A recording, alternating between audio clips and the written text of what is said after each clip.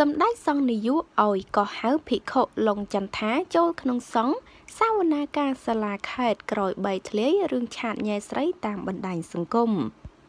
បើយោងតាមរយៈលិខិតមួយរបស់គណៈសង្ឃនាយកនៃព្រះរាជាណាចក្រកម្ពុជាបានចុះហត្ថលេខាដោយសម្ដេចសង្ឃនាយកននង៉ែតចុះថ្ងៃទី4ខែមេសាឆ្នាំ2020នេះបានប្រកេនឲ្យ ព្រះមេគុណខេត្តតាកែវនិមន្តភិក្ខុលងចន្ទថាគង់នៅវត្តភ្នំបុរីឃុំព្រែកក្តាមស្រុកអង្គរបុរីខេត្តតាកែវ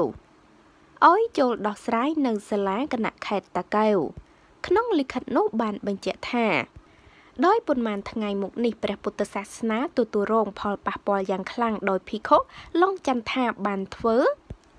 ឲ្យខូចឈ្មោះដោយសារតាក់ទងជាមួយនឹងស្ត្រីភេន តាមបណ្ដាញសង្គម Facebook ដែលប្រាចាកពីធម៌វិន័យរបស់ខ្លួនធ្វើឲ្យធ្លាក់ចុះតម្លៃព្រះសង្ឃយ៉ាងធ្ងន់ធ្ងរអាស្រ័យហេតុនេះ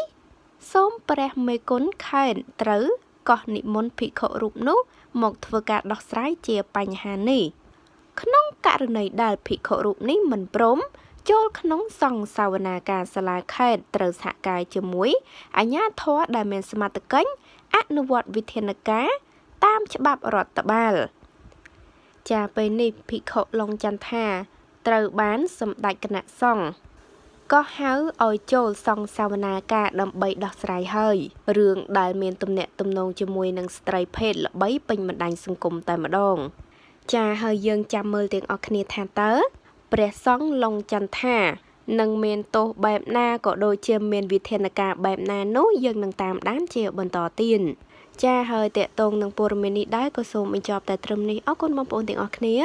សូមចុច Subscribe និងរូបកណ្ដឹងដើម្បីទទួលបានព័ត៌មានថ្មីៗជាបន្តទៀតសូមអរគុណសូមគោរពលា